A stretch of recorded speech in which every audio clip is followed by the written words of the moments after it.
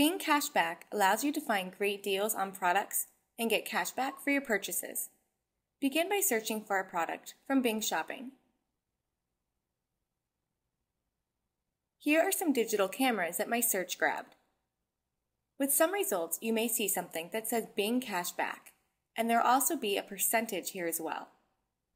Click on the product you want to purchase. And when you click on the plus sign, you'll see the actual price of the product when you purchase it through the store.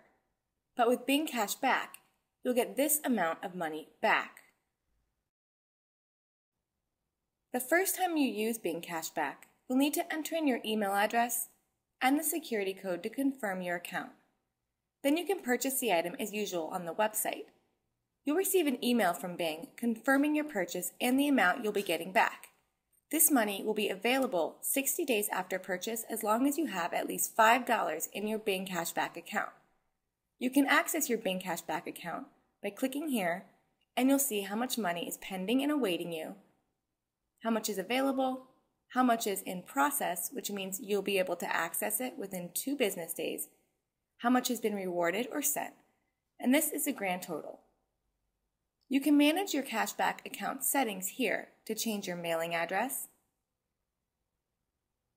add a PayPal account to have the money sent to, add a bank account, or you can learn about quick cashback. Thanks for watching and don't miss the next episode in the Get Searching with Bing series.